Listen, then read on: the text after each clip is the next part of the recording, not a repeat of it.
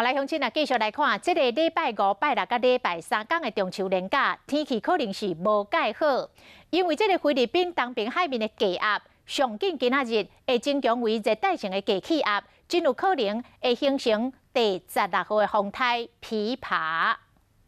目前的不确定性还是蛮高的。那要关注的是，这个热这个低压带在礼拜五之后呢，啊，就会逐渐的北移啊，有可能影响到台湾地区的天气。那以现况上来看，现有的资料上来看，礼拜五的时候呢，还是算比较稳定的天气形态，也是中秋节的当天，还是比较稳定的天气形态。整个西半部地区来讲，哦，大致上是以多云到晴的天气为主啊，所以中秋夜来讲，如果要看到啊月亮，对西半部地区的民众的来说的话，几率是比较高的。那在东半部地区来讲啊，还有我们的基隆北海岸啊，东北部地区这些地方呢啊，云量上来讲啊，就会比较高，有一些局部性的短暂阵雨。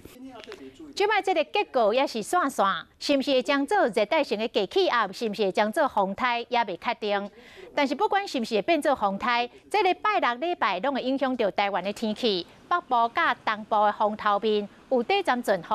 啊，各地过道毛雷阵雨。啊，那今仔日开始一直到拜五中秋节，天气拢正稳定。